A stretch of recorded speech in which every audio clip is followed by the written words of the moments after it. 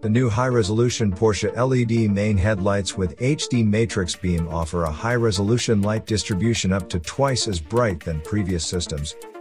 The German company has developed the light technology of the next generation with its new high-resolution HD matrix technology.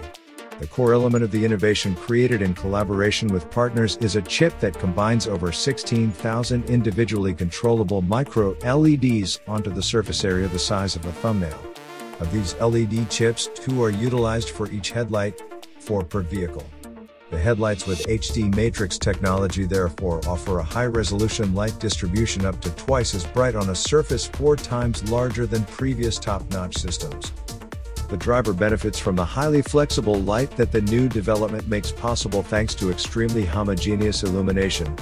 In addition, there are innovative functions such as lane illumination, construction and narrow lane light and adaptive motorway high beam lights. The high performance high beam turns night into day at a distance of up to 600 meters. A new non dazzling high beam function is used for oncoming vehicles, large areas to the right and left of the anti dazzling gap become significantly brighter. The new HD matrix technology adds yet another highly efficient component. Because the HD matrix headlights only activate the pixels that are actually needed at any given moment, they consume considerably less energy than other high resolution systems, while the amount of light remains the same.